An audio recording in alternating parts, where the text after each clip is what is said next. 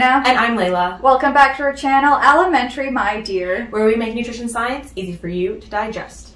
Today we're talking all about food allergies. Make sure you hit that subscribe button so you never miss one of our videos. So when I went to school, I remember there were so, so many kids, like every year that had food allergies. I don't know, was that the same for you? It really wasn't, and I don't know if that's reflective of our age difference or Okay. just the school that I went to or what. Because you hear a lot now about like a lot of restrictions of what kids can bring I to know. school, and even like products will say on it like. Like, safe for school! Safe for school or like whatever school approved Yeah. or something like that. Uh, but I didn't. I mean, I don't know if I was just like ignorant to it, but I don't think it was like as talked about when I was going to like Okay. elementary school and stuff. We weren't allowed to bring peanuts to school or Yeah. peanut butter. And peanut butter is like the most easy lunch to make, like a peanut butter sandwich. It's a classic. It's Exactly. a childhood classic. so like even in terms of like seasonal allergies, you didn't really hear that ever. No, and I definitely get season. I, I I'm pretty sure I'm allergic to flowers because like even like when I'm just like walking outside and stuff, like if Oh. I walk past a house with like a beautiful garden, like I'll immediately start sneezing, which is really upsetting because Yeah. I enjoy looking at flowers, but Oh. they don't they don't like me back. Can you have flowers in your house? No, no. 'Cause I remember like my my partner's gotten me flowers before, and like there'd be like a week straight where I'd be like sneezing nonstop, and he's the one that pointed it out to me. He's like, you know, I feel like there might be a connection That's so funny. That is so funny. Oh, So- well, you just admire now, yeah, afar now he's off the hook yeah. for ever getting me You flowers. why do you never buy me flowers? Well, because I'm doing it for you, babe. yeah, allergies they seem to be becoming like more and more pre- pre- Prevalent. prevalent.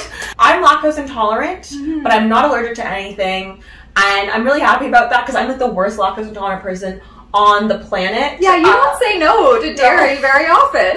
No, I don't. So if I had like a milk allergy, I think I would be dead. Before we get into the nutrition part of allergies, we should kind of talk about like what are allergies, what constitutes an allergy. So allergies are basically when your body kind of freaks out for no reason. It's typically something that's not actually harmful, but your body thinks that it's harmful and kind of triggers your immune re- response to attack this substance that's entered your body. And it's typically the protein component of the food that your body for some reason thinks is like a foreign invader and kind of like mobilizes all the forces to like get rid of it and attack it. You know, your immune system's looking out for your best interests most of the time, but allergies is one of the cases where they go in a little bit too gung ho and it can lead to like some really serious things. Like people can die from allergies. If you have an anaphylactic allergy, your throat can close and you can die.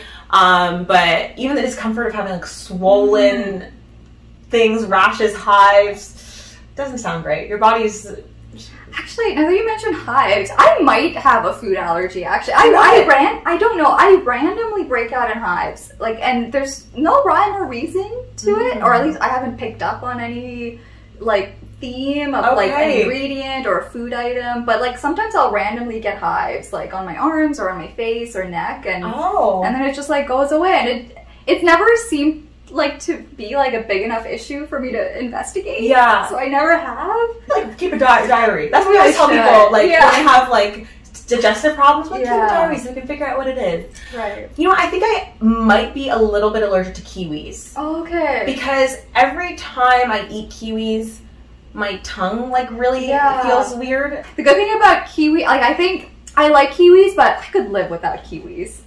You know, you haven't had a golden kiwi. No, I have had a golden. No, those are really good. Those are really good. But I mean, compared to like mangoes and pineapples and grapes, I love grapes. I, would could overeat on grapes so easily. So we just mentioned fruit, which is actually one of the common global allergens, as is nuts, tree nuts. Surprisingly to me, is rice that Mm. is on that list. What's weird about rice is that, like, I think on a global scale, it's not that common, but it seems to happen more often in like East Asian countries like China and Japan. uh, Chinese and Japanese food that I've been exposed to, I'm like, how do you get on in, you know, China and Japan with a rice allergy? Absolutely. And it sounds like it's the more exposure there is, the higher the risk of having an allergy. And that's kind of the thought, which to me feels a little counterintuitive actually, but Mhm. we notice that in other parts of the world too. For example, Greece and peanut allergies. Mhm. There's almost no peanut allergies in Greece, because uh, apparently peanut consumption is not that common there. But then I, You'd think that it would be a higher prevalence. I know. It's, to me, it feels a little counterintuitive, but it seems like there's something there. there's a lot of regional variability when it comes to what people are allergic to, and I think like that kind of shows like the environmental impact on allergies. Interestingly, there are two types of food allergies, and the main one is called IgE mediated. So that's basically immunoglobulin E mediated. So we have a bunch of different immunoglobulin related immune responses, and the E type is typically actually reserved for you know fighting off parasites, but we also see it activated when it comes to things like food allergies. Yeah, and just to highlight exactly like what an IG or an immunoglobulin is, um, it is part of your immune system. And so, for example, when people are getting the COVID vaccine, what that does is help build up your IgGs, so your immunoglobulin Gs, and those are the ones that go attack like viruses and bacteria, so that it can go. Like, you know, it detects COVID, it can get it right at the source because it's already used to it. But then, for some reason, with food allergies, it's using that IgE response. There is another type of allergy, which is a non IgE mediated allergy. So basically, that long name just means it's it, the way it happens is not related to that immunoglobulin E that we just talked about. It's actually thought to also be from your immune system, but from a different type of immune cell called the T cell. So the T cell recognizes this foreign thing or this thing that shouldn't be shouldn't be there, and it goes and attacks it. And what this produces are mostly gastrointestinal kind of responses. So things like diarrhea, vomiting, um, abdominal pain, and things like that. Um, so you these are not as like life threatening, but they can be very, very, very uh, uncomfortable. And we both know someone who I'm I don't know if it's a if it's a non IgE allergy to a protein that's in dairy, but it was really, really bad. Um, and so it can be like even though there's not that like anaphylaxis risk, it can be quite you know de- debilitating and, and bad. But for that one, they mostly just recommend that you um, avoid that food. So you don't need like an EpiPen or anything like that, like you would need in uh, some types of IgE mediated ones. There's no like real treatment really for Mhm. that. It's more about just abstaining from eating that food. And it is possible to have both types of allergies concurrently, like at the same time, like the IgE and the non-IgE mediated. So now who what kind of people tend to have allergies? We Well- do see some common themes. Mhm, for sure. And like I think that most people uh, kind of know this because you know we talk about allergies about like foods going to school, but younger people tend to have allergies. You hear people growing out of allergies as they get older. Um, so like I have a friend who has like a lot of allergies and he's gotten like retested like a few times and like some of them have gone away and some Oh, have that's awesome. stuck. Yeah, I know. Can you imagine like your whole life you never got to eat like sesame maybe? Okay, sesame might be less life changing for some people. Yeah. I think something like nuts, I think, might Yeah. be more life changing. But I've heard though people with allergies, like it's all I, I don't know if there's like evidence behind this, but just anecdotally from people I know and other people, they don't actually like the taste of the foods that they're allergic to. Interesting. So I don't know if it's like there's some protective mechanism there. Mhm. That's interesting. Or do you think it's just like lack of exposure? yeah, I don't know, But I wonder when you think about. Well, I guess it depends on what it is, but I feel like a lot of kids. I mean, may, might not even like something like Yeah. nuts or something, or like fish, Fish or or eggs, yeah. and maybe it's something that you kind of grow to like as you get older, especially Okay. fish. yeah, but peanut butter kids love peanut. That's true. That's true. But I've heard people say like they just like even the smell just really turns them off. oh, so- there must be something protective there. Yeah, so That's I so wonder interesting. if you grow out of it, would that kind of disgust response go away? But I also wonder if it's like maybe they had an exposure that led to them getting really ill, and then they now associate that food with that, and that's what leads to the disgust Because you hear about that with food poisoning Exactly. as well. Your your brain kind of just makes that association, and you kind of feel repellent, like it feels repulsive when you when you're exposed to that food in the future, even if that food may not have Have actually been, caused. the cause. of your food poisoning. Yeah. If you're allergic and you have a disgust response to the food you're allergic to, or have outgrown your allergy, we'd love to hear your experience with that. There's also thought to be maybe a hereditary component of allergies because, you know, people that have family members that have allergies, they're more likely to develop that allergy as well. Oh, as we get more into it, we'll talk about some of the environmental components. So I wonder if it's hereditary or maybe just like that Same environment. same environment. Absolutely. Or maybe it's both. Who knows? Like most things, Most it's things, always a always bit of nature, and nurture. We also see people who have other food allergies are more likely to develop other food allergies. It's just like putting salt on the wound, isn't can it? imagine? I wonder with that is I've heard sometimes, you know, skin prick test, which is one of the ways that they diagnose um, allergies. I'm sure anyone who has allergies probably know this, but they like kind of take a little bit of um, the allergen and then prick your skin and see how strong of a response you get on your skin uh, because you know you have immune um, function all throughout your body including on your skin which is why people get hives. Uh, i've heard sometimes that those are overly sensitive so sometimes they might produce a response on your skin and then um, you wouldn't actually have a reaction if you ate the food. And I know after people have like a severe response, allergic response, they'll go get those done. And so sometimes they'll unnecessarily have like a bunch of other things that come up. So maybe that's Do you think that might skew the data a little bit? I don't know. That's a good point, Mhm. actually. That's very compelling, to be honest. That makes sense. Yeah. people that perhaps have never experienced a reaction may never get tested, and Mhm. just so it seems like they have nothing.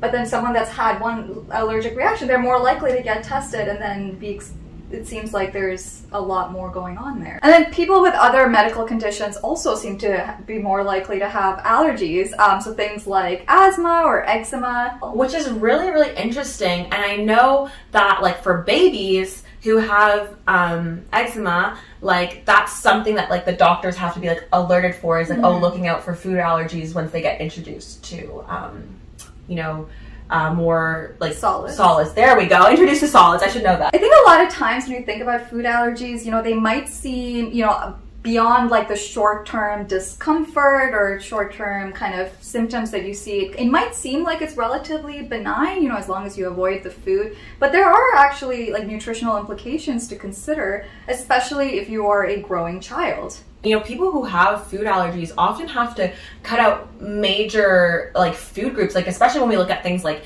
uh, cow milk allergies.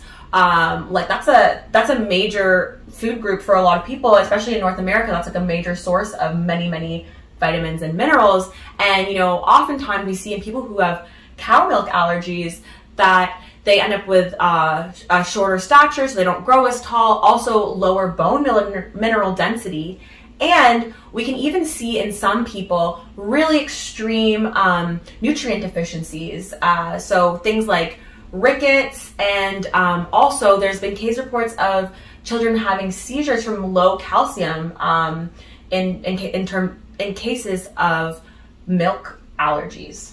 Yeah, and this isn't to scare any parent that may have a child that, you know, has a milk allergy. It's more to just draw attention that, you know, when we're restricting certain foods, we want to make sure that the nutrients that would typically come from that food are coming from another source. And that's actually a great reason to reach out to a dietitian to kind of get that support. Um, and you know, even beyond something like a milk allergy, with things like tree nut allergies, uh, that's a, a nuts are a common source of potassium for a lot of kids. So just making sure that you're getting that potassium, or that your child is getting that potassium from other sources, such as you know fruits and vegetables, or you know something to be mindful of as well. Imagine, you know, this, this we're talking about individual allergies, but so many people will have three or four allergies, and that really, really restricts the diet. So, you know, if you have an allergy or you have a child who has an allergy, honestly, And then you throw picky eating on top of that. oh, parents of children with allergies, that's definitely be tough. Yeah. But yeah, like dietitians are a really, really great um, resource. I know, obviously, when you speak to your allergenist, allergist, Allergist. allergist, um, they'll have some good resources for you. But if you work with a dietitian, we're a little biased, but if you work with a dietitian, they'll really be able to sit down and take the time and kind of plan things out with how you normally eat. Yeah, taking into account your preferences and your eating habits and kind of tailoring the recommendations to kind of fit your lifestyle. I think you hear the older generations sometimes mocking the younger generations um, about how there's a lot of food allergies these days, and it's Mhm. almost like when I was a boy, we were strong and Yeah. and y'all are gonna die from a peanut. You know. People seem to take it as like a commentary on our youth's like weakness or you know something like that, which is first of all, if if Who raised us? exactly. Who who set up this wor- this environment that we're in that's giving us allergies? Who did that? We could, I could have a whole rant about that. Yeah. But why we can't afford houses? Who, who did who did that? Why we're, uh, you know, staying with our parents till we're 35? Who did that? Why we killed the diamond industry because none of us are getting married because we can't afford to? Who did that? But I don't know how we went down this. but no, it's definitely something you hear is that like I've heard this so many times, even from my mom and her friends. She's like, "Oh, when we were kids, no one had allergies." Blah blah blah blah blah. And I'm like, "Well, you raised me, so why do all my friends have allergy? What did you do? Yeah, what did you do? And you know, you see global trends that like they It are. is on the rise. It is on the rise, There, like- there's truth to that. Uh, a lot of research has been done, especially in the United States and in Europe. You do see quite a few more admissions for anaphylaxis. So like that's like the very extreme response. I feel like more people are probably just getting tested too, so I wonder if that's contributing to some of the Mhm. increase. There's more awareness of it. Yeah. and more people are getting tested. Um, but you know, the increase that we've seen since like the 1980s to the 2020s is it can't completely be explained Right. by increased awareness and stuff like that. Especially when we look at anaphylaxis, because the awareness piece, you're aware. I think the general public, you often hear the idea of like maybe we're too clean now. There's an entire formal hypothesis that it where that idea came from. It's called the hygiene Hygiene hypothesis. hypothesis. And it was basically um, some doctor dude. Do you remember his name?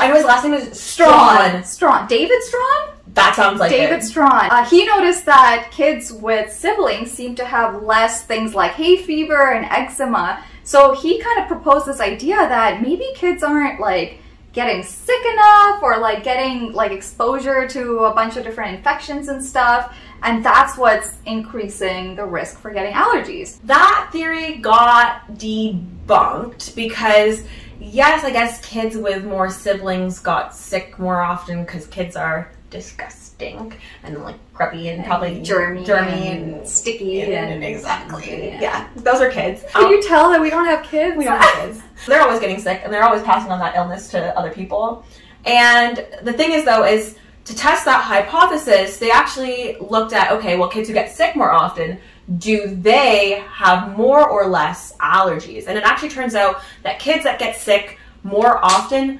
have more allergies So the hygiene hypothesis kind of, you know, pivoted a little bit. Pivot! Pivot! And now it seems like it's less about getting more sick, but more about just having exposure to different microorganisms. So, you know, even having something like a sibling, you're more likely to be exposed to more microorganisms. because kids even disgusting. because kids are disgusting. So your grubby little sister's like putting her hand in your mouth after she picked her nose. That's more bacteria for you. people with pets actually seem to have less allergies as well. And you can imagine like how dogs, you know, they're like going out, digging around in dirt, sniffing other dogs' butts, and then giving you those loving kisses that you love so much. Lots of microorganism transfers Mm-hmm. going on there. The environment that we live in right now is not. It's kind of artificially clean compared to you know when we were developing as a species. And um, like all our like micro anti antibacterial stuff and you know obviously in the case of covid always wash your hands. Make sure you're putting your hand sanitizer on.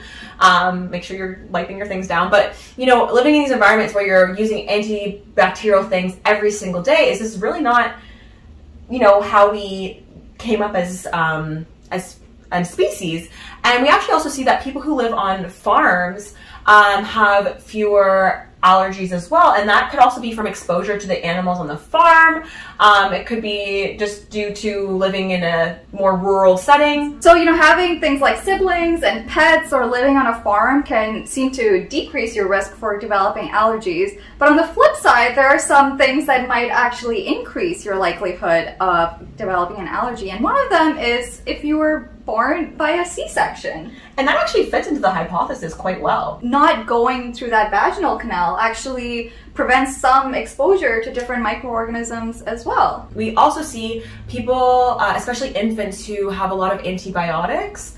um, have a high risk of developing food allergies, and that actually could be because it's killing off all the bacteria that you're exposed to, and so. Yeah. Again, that seems to fit nicely with the the new hygiene hypothesis. Exactly. We don't really know. That's why it's like a hypothesis. But you know, hypothesis in science, it's still pretty strong. Like it's still a pretty strong thing. We just don't know completely. So if you're a parent, you might be wondering what you can do to kind of minimize the risk of your child developing allergies. And there actually are some guidance and recommendations on that.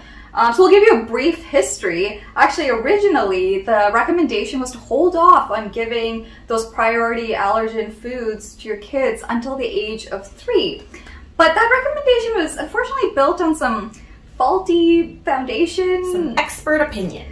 Which is actually like pretty low on like the hierarchy of evidence. So watch our video on, um, you know, the quality of nutrition evidence. We'll link it in here. I guess it was kind of intuitive. It's like, okay, we're seeing this rise in allergies. Why are we seeing this? People are scared. We don't want more allergies. You know, guys, don't give it to your babies. And I can see how they got there. There just wasn't evidence, but you know, this is we can kind of see one of the ways that making recommendations without the evidence to back it up can actually be quite harmful. There's some thought that that recommendation may have actually contributed to the rise in peanut allergies over the last few decades. As we've gotten more data, we've changed the recommendations a couple times. Um, the first one was basically, you know, you don't need to hold off on these foods. I think that was in around 2008 or so. But, you know, the public was already scared of food allergies. Everyone's kid was thought everyone thought their kid was going to eat a peanut and die. I, oh my god, who was telling me this? That they drove when they wanted to give their baby or their toddler peanut for the first time. They drove to the sick kids hospital parking lot and gave it to their kid to make sure that if anything happened, they'd be close to the hospital. I've actually heard of stories with parents too that, especially if they had multiple kids, where maybe with the first kid they were explicitly told to like hold off on giving Mm-hmm. things like peanuts, but then with the second child they were told no, no, like make sure you're introducing it super early. And I think like if when you hear those types of conflicting messages, it's kind of scary and confusing it's very parent. confusing and it kind of makes sense to me that your instinct might be to stick to the original recommendation Of course, and that's like the more cautious. Like yeah, it seems like it seems like it would be more intuitive and obvious to just hold off on Mhm. giving something that your child might be allergic to. So, I mean, I, I feel for those parents that had to kind of deal with that transition period. But yeah, right now the recommendation is to give things like especially peanuts, and especially if your child might be considered high risk for a peanut allergy, to give it to them at the four to six month mark when you're introducing other solids. For those higher risk infants, that might be something to discuss with your doctor um, because you know it, they still want you to give it early, but maybe they want to have some special precautions. Um, things that can make your child high risk is having um, other food allergies or having um, eczema uh, on their body as an infant. For infants that aren't high risk, they even say to introduce peanuts as soon as possible. You know, again, that four to six month range mark. And all the kids who tolerate it well, whether they're high risk or not high risk, keep up that intake like pretty regularly. Um, a couple times a week, they they would recommend giving your child a age appropriate peanut food. So I would not recommend giving your small baby um, whole peanuts, but you know a little bit of peanut butter on something might be a, a good option. Um, just to uh, you know keep them exposed because we're seeing that that prevents food allergies. And I know you mentioned that story of um, a parent that you know that Mm-hmm. that drove to a hospital to make sure that they were safe. But actually, that's not really considered necessary. Um, you're able to kind of do that introduction and that monitoring of uh, the peanut response at home. Especially if your kid is uh, like you know not a high risk person. So you know if your if your child maybe has the eczema and the a sibling or something that has an allergy that maybe you might want to see a doctor about the best way to go about it. But if your child doesn't really have any of those risk factors go ahead and do it at home. I love peanut butter. Peanut butter is like a really important part of life. I feel like it's it's, it's like PB and J sandwiches Mhm. like almost represent childhood. exactly Like, is there any food that represents childhood more than a PB J PB and J sandwich? also just think of like chocolate and peanut butter. no, chocolate and peanut butter. Oh. Okay, I I would say PB, like peanut butter and chocolate. That's probably the top flavor combination on the planet. Like, a hundred I dare you to come up with a better flavor combination. I totally agree. I totally agree. So all my peanut If you want to challenge us on that, put in the comments. What is the best food combination? So, you know, the guidance we talked about, about that early introduction for peanuts, um, that is specifically for peanuts because I know, at least in North America, that was like one of the most common food allergies and the one that produced anaphylaxis the most often. But we just really don't have enough evidence to show that this works for things like eggs or other allergens. So we just talked about what parents can do with their children as you, you know, start introducing solids and stuff. Uh, but maybe we can take a step back and talk about what pregnant people can do while you're pregnant. Which is so interesting just to think of like what you do while your baby is in your utero affects kind of the outcome of your child later. And I know we know this. And that's something that we're learning More more, and more. more about. Interestingly, there's some evidence that taking an omega 3 supplement while pregnant might actually help reduce the development of allergies in your child. And we see that,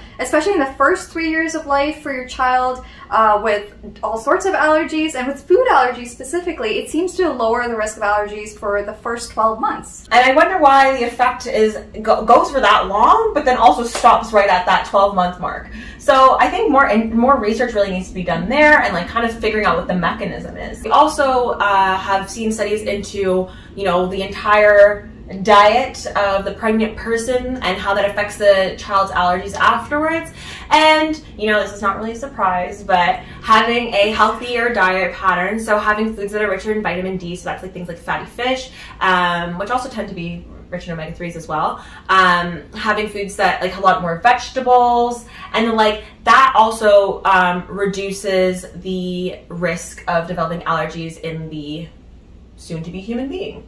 Um, and you know, there's there's not too too much research in the area, but I think that that's definitely somewhere where we're going to see more um, more research in the future. Research also shows that people that drink a lot more milk during pregnancy seem to, you know, their their offspring tends to have much lower risk for developing cow's milk allergy. Allergies don't necessarily show up straight away, and there are things that you can do once your baby is born to reduce the risk of allergies, you know, as they get older. So we talked about the recommendations for early introduction of peanuts, but there's also some other, you know, general guidelines that may help reduce the risk of your child developing allergies. So one of them is just having a healthy and varied diet, you know, things like including a lot of fruits and vegetables.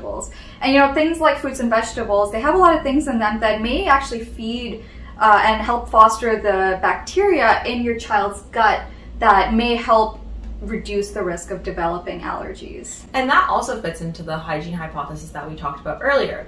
We also see um, that children who are breastfed tend to have a lower risk of um, developing a, a food allergy and fits right in to the hygiene hypothesis because you know when um, babies are breastfeeding they're exposed to the bacteria that's on the skin and that helps populate their gut with different types of, of bacteria which is quite interesting We also see that introducing fish in the first year of life um, can help reduce your risk of developing all allergies as well. which is, is quite interesting. And you know, we we talked about omega three earlier when it comes to the maternal diet, but I wonder, you know, fish in the child's diet is that because of the omega threes? Is it because of the vitamin D? I don't really know. Excellent questions, and I'm sure there'll be more research to come. That is the 411 on allergies. Be sure to like, comment, and subscribe, and hit that notification bell so you never miss one of our videos. Thank you for watching. Bye!